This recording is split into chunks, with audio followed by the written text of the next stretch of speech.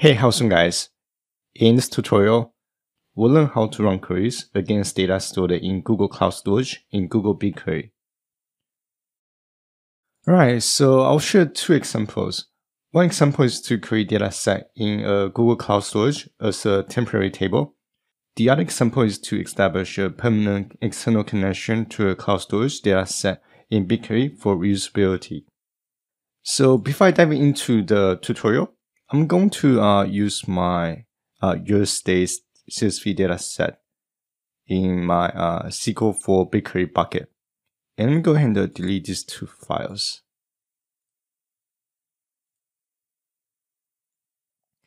And the uh, CSV file is going to look like this. Here, let me open the file first. So from the file, we're going to have two columns. The first column is going to be the state name. And the second column is going to be the state abbreviation. Now let's dive into the Python script development. Alright, so uh, here they have two uh, files created. So for example one, we're going to write a program to uh, query data against the uh, CSV file stored in Google Cloud Storage. Alright, so first I'm going to import the BigQuery module. Next, I'll construct my Google BigQuery client instance. And I'll name the object client. And to allow BigQuery to communicate with an external data source, we need to define an external configuration setting as an object. So here I have this piece of code. So first, I'm defining the uh, configuration type as CSV because my file type is going to be a CSV data file. Then need to specify the uh, data source from the uh, Google Cloud Storage. And here we need to supply the Google Cloud Storage URI to the source URI's uh, attribute. And if you don't know where to get this URI uh, address from, so basically you can click on the file and from the overview section, the URI is going to be under GSUTIL URI uh, field. And basically just copy uh, the address over and supply that to the uh, source URI's uh, attribute as a list. And based on your CSV file data set, so in my CSV file, I have two columns. One is going to be the uh, state name, and one is going to be the state abbreviation. So here we need to uh, define the field schema using the uh, schema attribute. And again, it's going to be a list. Inside the list, we're going to uh, define each column individually. So for the name column, uh, so here we need to use BigQuery schema fields uh, class to define the columns metadata. So this is going to be the field name followed by the data type. And here's the uh, definition of the field schema for the second column. So from my CSV file, I don't want to uh, import the first row. So from external configuration object, the CSV options, I'm going to skip the first row by uh, assigning the skip leading rows value to 1. So that means that I want to skip the first row. And once we have created the connection, we need to uh, provide a temporary table name to our table. So I'm going to name my table US states table. Now we're ready to make an API code to uh, create the data, but there's still some prep work that we need to do.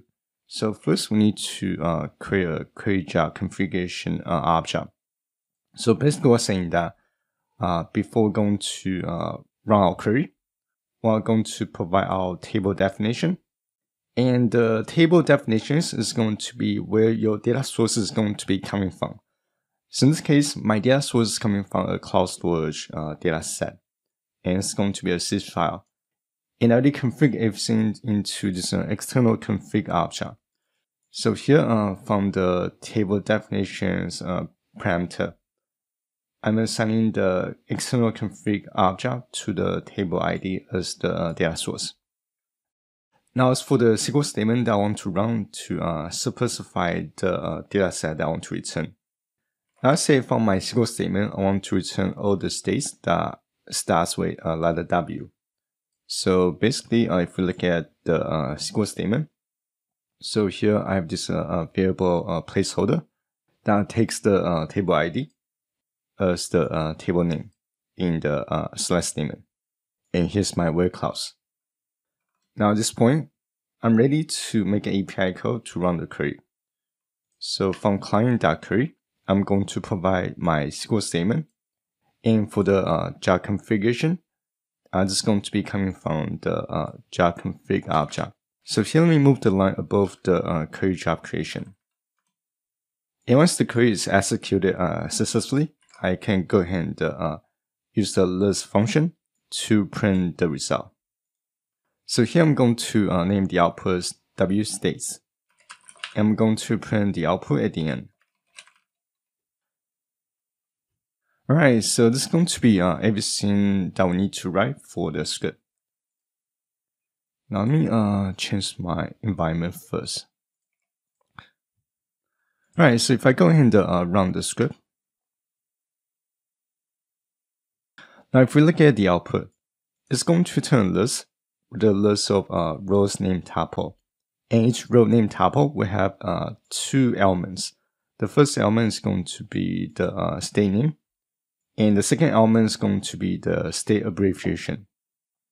Right, so we have covered example one. Now let's cover example two, which is going to be creating a permanent connection in BigQuery. So the setup is pretty similar. I can basically reuse some of the uh, code from example one. So I'm going to basically just copy paste uh, the code block that I'll be reusing. I want to uh, go back to my BigQuery console. And under my JJ datasets dataset, and here I uh, create my uh, connection, which is going to be US states. If I go to the details tab, and here we're going to have this uh, external data configuration section, and which tells you that uh, this table here is coming from external data source. But I want to uh, go ahead and delete this uh, connection. I'm going to recreate the connection from scratch. Now going back to the script. Inside my script, I need to define my data set down to uh, insert the connection to. In this case, it's going to be my JJ underscore datasets dataset. And I need to create a dataset reference. So the uh, external connection uh, needs to know where to uh, place the connection object to. And I'll name the object dataset ref. And from BigQuery, the dataset reference. We need to provide the project ID and the dataset ID. And for the table name, I'm actually going to name the table US states. And because this is going to be a, a permanent connection that we're going to create, so we only need to create the uh, connection once. Therefore, uh, the code is going to be a bit longer. So here we need to create our table reference and this should be a table. And from the uh, table reference, inside the uh, table class, we can uh, insert the dataset ref table and we'll provide the uh, table ID. And for the count schema, and because we're actually creating a table connection, I'm going to uh, remove external config uh, reference. And I'll move that here and this should be uh, table ID. As for the external connection setting, uh, this is going to be the same because uh, this tells BigQuery that we are trying to establish a connection to uh, our Google Cloud Storage. I just know if we want to uh, create a permanent or temporary connection.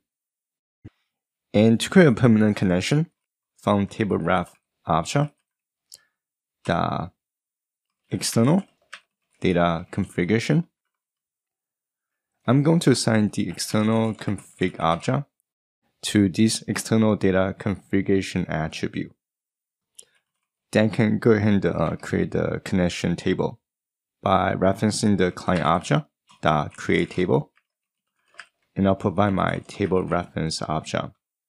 At this point, everything else is going to be the same. So I'll go ahead and uh, copy my uh, query configuration and the uh, SQL statement. Right, so if I go ahead and run the script, oh, so uh, my client object is missing a project ID. Oh, this should be project, not project ID. Right, so let me try again. Now I'm getting another error. When defining a table with external data configuration, a schema must be present on either the table or the external data configuration. Now let me take a look. Oh, I know why. So when I create my table reference, I forgot to uh, specify the schema. Otherwise, uh, the create table method will know uh, what columns to create. Alright, so let me go ahead and fix the issue. So from the uh, table class, we need to provide the uh, table reference object. And for the schema, we're going to assign the schema to the schema's parameter. Alright, so I think uh, that's going to be it. Let me try again. So I'm getting a 400 uh, post here. Now let me take a look. It's saying that required parameter is missing. Alright, so in this case, I want to troubleshoot the, the script. So what I will do here is I'll run uh, each line one by one. So I'll go ahead and uh, run the first code block. Then I'll create my table reference. Then I'll create my external configuration object. And so far, everything looks good. So I guess uh, the issue is probably with uh, the create table method. Now let me run these two lines. So I'm not getting any error when I create the table. Now if I print the table object, it's returning the uh, US states table uh, correctly. So the only thing I can think of is uh, when I first create the table, found the uh, first error that I received, there was something happening that I wasn't aware of. Now if I go ahead and run the uh, SQL query, and send uh, let me see, table ID is US states. So here let me go ahead and uh, refresh my BigQuery console because uh, when I run the this uh, create table method, my connection is created its point. So if I go into my JJ datasets dataset, and here's my US states table. And looking at the schema, I have my uh, two fields. And if I go into the details tab, here is providing me with the uh, current information. Now, let me see. Okay, no way. Because uh, our connection is permanent, so I don't need to uh, define the table definition I try to run a query using BigQuery API. So I can simply get rid of this line here, and I can uh, directly run the SQL statement using the client query method. Now here, let me uh, go ahead and uh, terminate this session. And what I want to do here is I want to comment out the external connection creation. And I'll leave the uh, table ID available. And I want to update the uh, SQL statement a little bit. And because we're going to uh, run a query directly against the US uh, connection table, so I'm going to uh, provide the full syntax, which is going to be uh, including the dataset ID and the table ID. And my dataset is going to be uh, this variable here. Now, if I run the uh, SQL query in Python, it's going to return the records back in a list. If I go back to uh, BigQuery console, if I run the same SQL statement,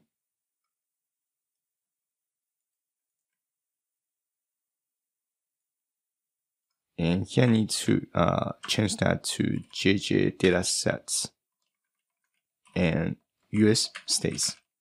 And if I run the query in uh, BigQuery console, I should get the uh, same result set back. Alright, so this is going to be everything I'm going to cover in this video, and hopefully you guys found this video useful. And as always, thank you guys for watching. I'll see you guys in the next video.